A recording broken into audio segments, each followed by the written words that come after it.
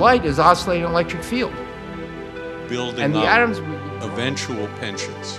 Do you do it on a repeated basis? Putting individuals in different situations, whether it's in a computer. Now, the reason the epithelial cell has this is because it has a mucus. And that cell. seems to be the hope for continuing progress. There are organisms that are producing specific compounds. But sometimes simple is the more elegant solution. So you're not so, using fully one of your most The important symmetry law is one of the cornerstones into a new civilization which is based on human qualities.